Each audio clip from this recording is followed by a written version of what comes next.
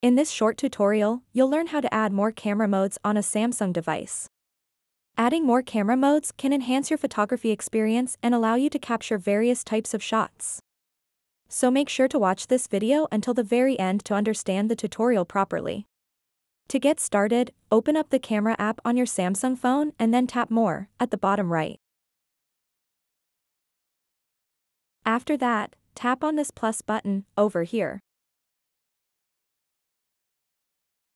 Now, in order to add more modes to your camera, just select any mode from these available options, then drag and drop it to the bottom. Simply tap and hold it and drag it down just like this. You can also rearrange the position of these modes. You can tap and hold them and drag them either left or right.